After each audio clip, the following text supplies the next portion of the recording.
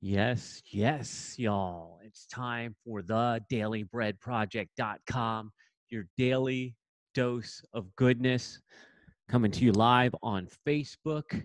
And uh, the recordings are available anywhere you listen to podcasts. Just look up the dailybreadproject.com. I have a guest joining me in just a second. We're going to bring this thing to live on Facebook and we're going to rock and roll with it. Yes, yes. Can't wait to dive in with you guys today. Feeling good, feeling stoked, feeling ready to bring you that positivity that you need. Let's get uh let's get this stuff rocking and rolling so we can jump in and hopefully our guest joins us. If not, I'll roll solo. I ain't I ain't afraid. I ain't scared, as they say uh, we can do that. But I'm going to go ahead and bring it live to Facebook while I uh, give our guest just a moment to show up. And I'm going to shoot him a quick text just in case he's sleeping. Let's do that real quick. There he is. All right, great. So my man is here. I am going to allow him to come in as a panelist and i'm going to bring this thing live to our facebook page you are listening to the daily bread project.com and in just a moment i'll bring you my guest and we'll rock into some positivity that i have that we have uh, for you today looks like zoom is going to behave today isn't that wonderful they've got a billion users now i just made up that number uh, sometimes it works, sometimes it doesn't. But it looks like today we are winning. Uh,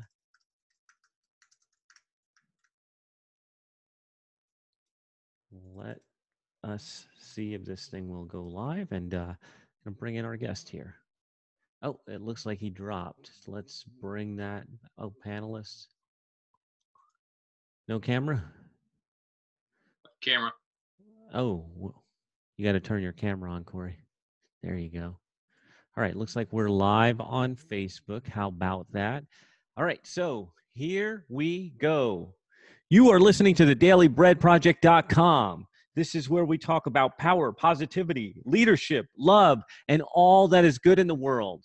Out there, the media is beating you down, keeping you scared and afraid.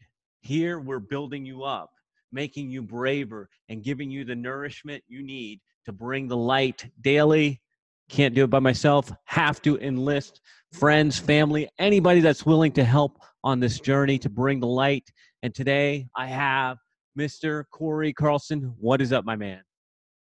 Hello. Thank you very much for having me on. It's awesome. Yes, I love yes. what you're doing with this. Well, thank you, sir. I appreciate that. I didn't even know if you were on Facebook or not. I didn't even know if you knew what was going on, but I'm glad to hear that uh, you do know what's going on. And I'm glad you're here, brother.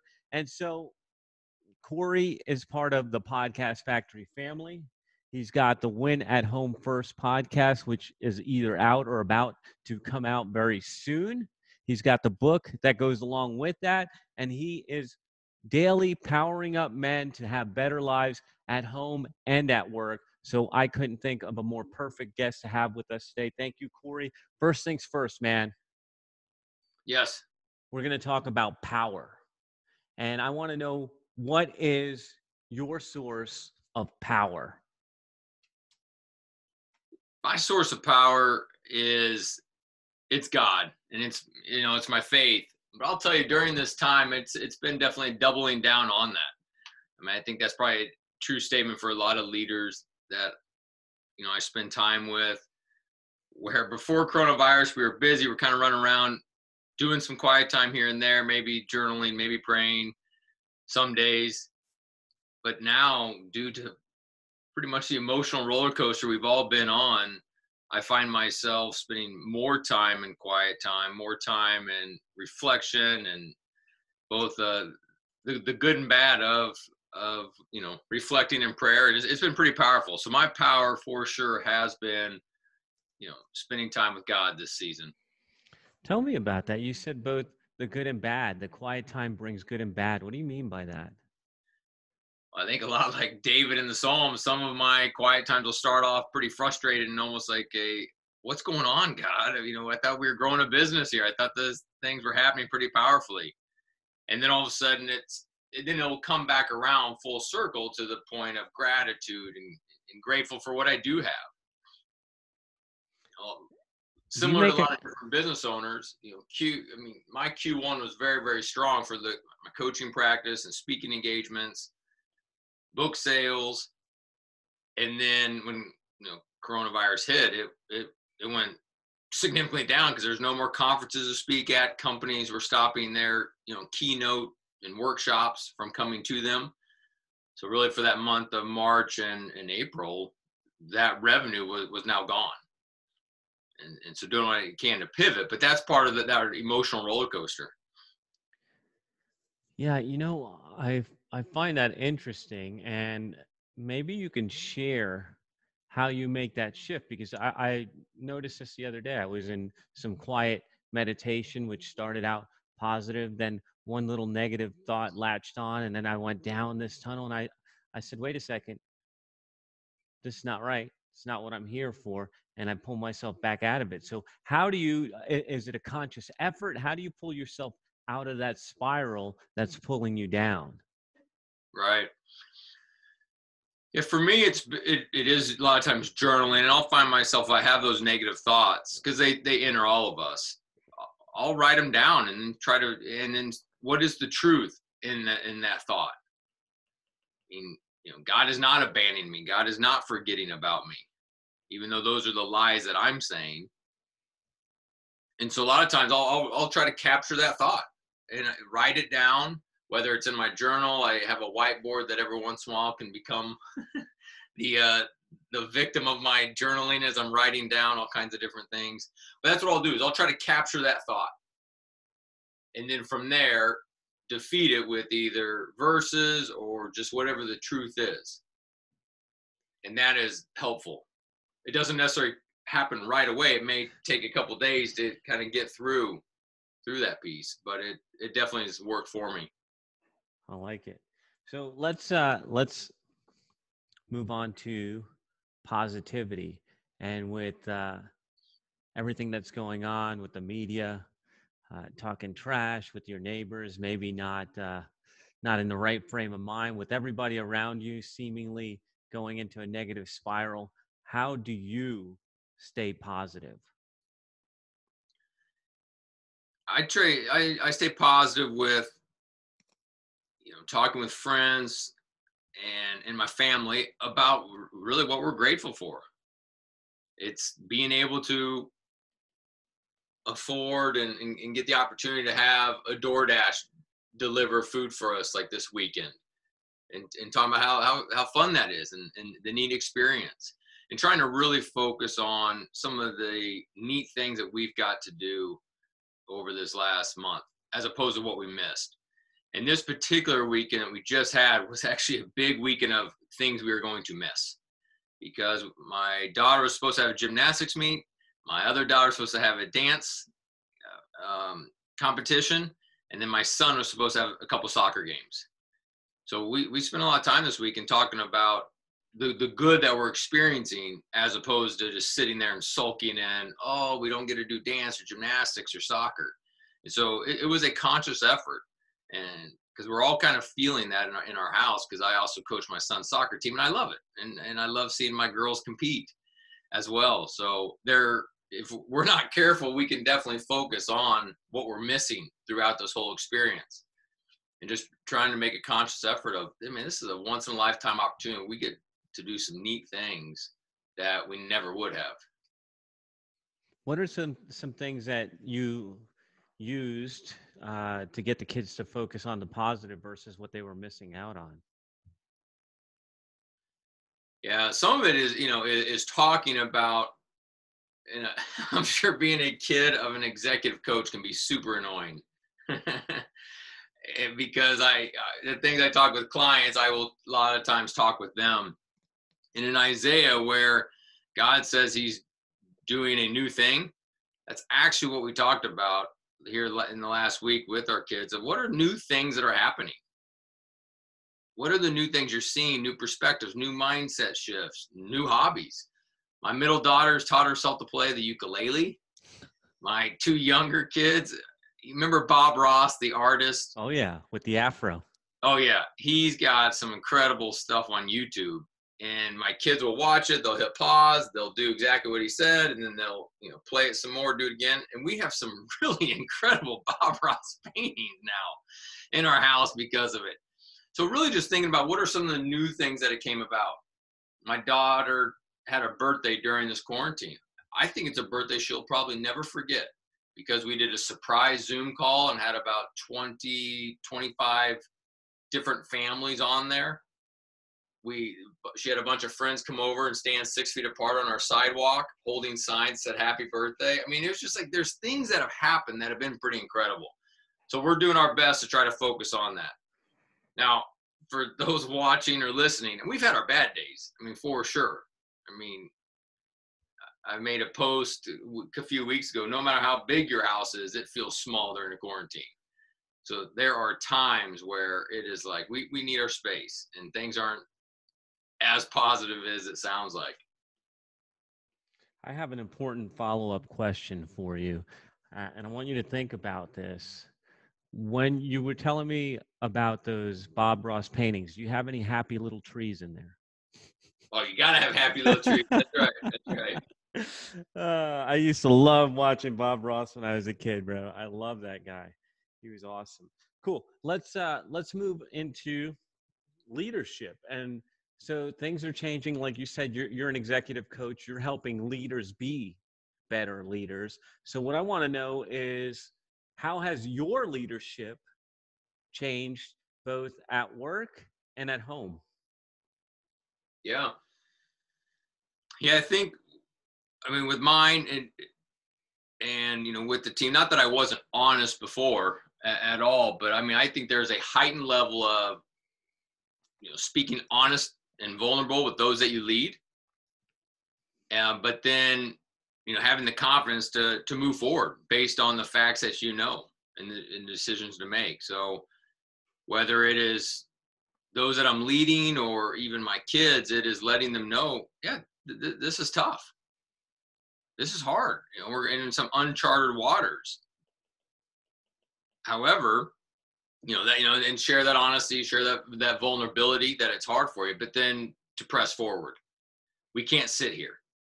You know, we can't just stay here and wait for president to to lift the sanctions or why not, Cory? Why can't we just sit and wait till everything gets back to normal? That's right. Well, we'll be. I mean, you'll be passed over. Whether it's in a company setting, there are companies that are making smart moves of pivoting, whether how they're selling, how they're going to market, or what they're selling, the way they're packaging their product.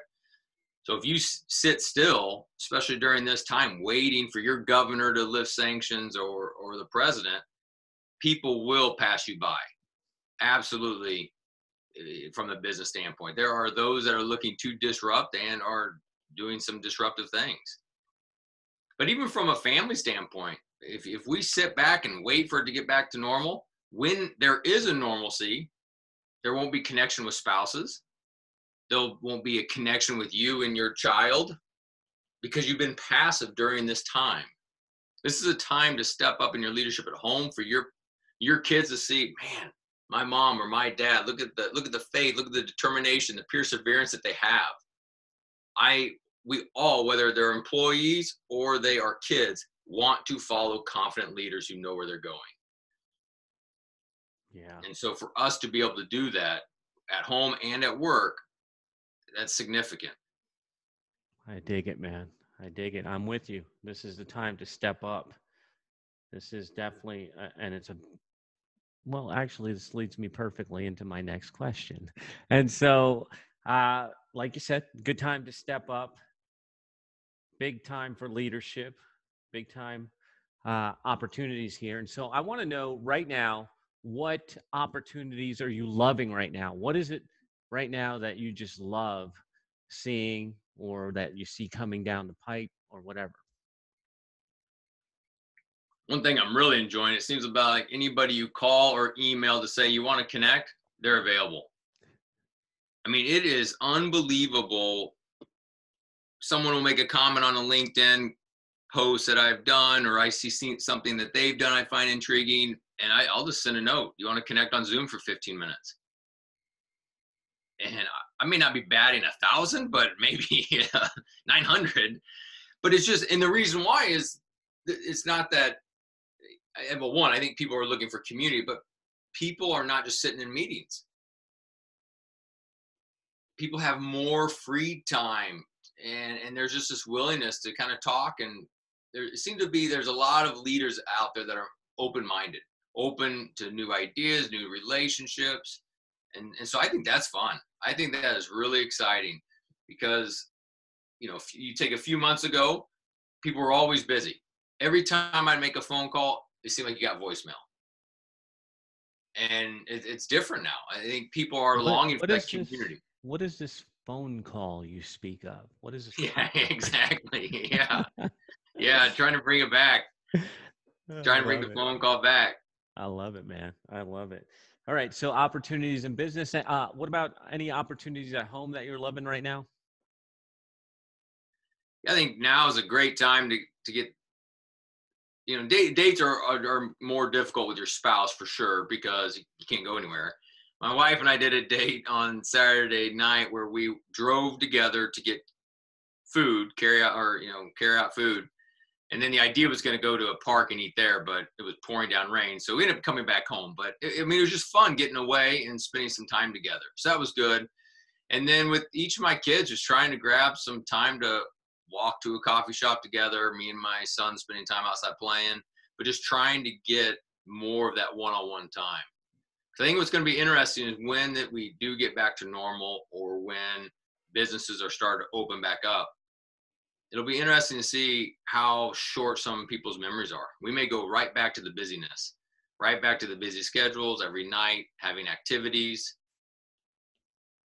So my hope is that we don't do that as a family, nor nor do other people. I've heard many, many clients and friends make comments like, "Oh, I've eaten more with our family at our family dinner table in the last month than I have in the last five years." You know, or comments like that. And I you know, my hope and prayer is that the family dinners will remain. The spending time with families will will remain, and we'll all be stronger on the other side of this. That you know, that really that that's a touching comment because we make it a point to eat dinner together over here, and I, it it almost makes me feel sad for people who want to get back to normal if this is the new normal having these family dinners having the time and I, I feel like that should be the normal. And so that now I've got this this sadness in my heart for anybody that goes back to normal. yeah. Yeah. Oh man, cool, cool. All right, so here's the biggie.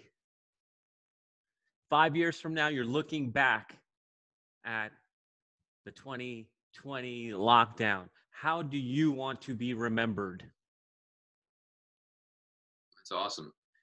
Yeah, I would like to be remembered as one who was just willing to serve um, his you know his clients and his friends and be one that was providing encouragement and positivity. Whether it is the clients i work with now talking to them 15 20 minutes longer on a on a call. You know before they're pretty darn scheduled because they have to get off the phone at 11 because they have a meeting to go to or i had a meeting to go to. So being there for clients right now. I had a client probably about two weeks ago it was Call was great. Probably about five minutes left. I asked, anything else? How you doing? And broke down in tears.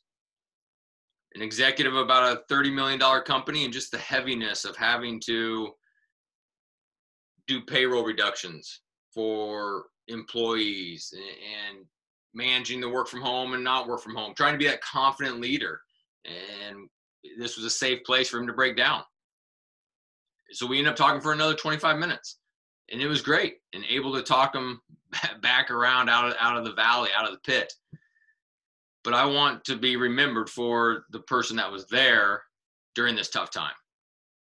You know, for my family, for clients, and even for those that I may not know, whether it's a post or a video, daily bread, whatever it may be that someone sees is like that's that's what I needed. Yeah, I love it, man. So, all right, now I'll, I'll ask you is there anything else you want to say to the Daily Bread listeners as we're coming up on the end? Yeah, I think determination and perseverance. There is an end to this. There will be a normal we come back through. And I think during this time, the two things that I'm thinking of right now are one, give yourself grace. If this, you're hearing things that I've said or other people have said on a daily bread or reading blogs, you're like, oh, I wish I would have done that. I wish I would have done this during my break. I wish I would have been more intentional during this time. And give yourself grace. That, that has happened. Maybe you could have done some things differently or been more intentional with your spouse, your kids, or employees, or whatever it may be. Give yourself grace. It didn't maybe go as planned, or you wish you would have done it better. But now, be intentional with this this time remaining. If I don't know exactly how all these phases are going to happen, but May 1st, it sounds like there may be a phase of something. There may be one that comes a few months later, whatever it may be. So we're going to start to see the light at the end of this tunnel. And I would just first, you know, what has transpired, give yourself grace. But now let's be intentional with this time that remains. Because this will this will end. I love the word you use there, intentional. And that that's a beautiful word and a beautiful thought to leave people on. So Cory, where can people find you when they're looking for executive coaching or a nice positive word or a sensitive ear? That's right. That's right. Well, thanks. Thanks for having me on here. Appreciate it greatly. Book Win at Home First. It's on Amazon, Audible, Kindle. It's been a book that's been helpful to other leaders. Actually, Forbes said it was top one of seven. There it is. Look at you. Thank you. Tabbed up down here. Yeah, you did. Sweet. yeah, yeah. And uh, gentleman from Forbes said it's top one of seven books everyone on your team should read, and so that's been been pretty neat. My website is CoryMCarlson.com. All social media is at Carlson Cory. And Win Home First podcast, thanks to you, is coming out April 29th. So oh, excited wow. about that. There it is. Win at home first. I'm going to hold my copy up over here. You can't see that if you're listening to the podcast, but win at home first. There's his name, Cory M. Carlson. Thank you, Cory, for bringing the light. I appreciate you, brother. Thank you for the encouraging words. Thank you for lifting our spirits. Thank you for the daily nourishment. And you, my dear listeners, you're listening to the dailybreadproject.com. We're coming at you daily, 10 a.m the thedailybreadproject.com. Thank you for tuning in, and we will be back next time. Oh, and before I forget, see, I've been terrible about this. Share the bread with someone. Share your bread. Don't be selfish. Share this with someone who needs it. We love you guys, and we'll talk to you next.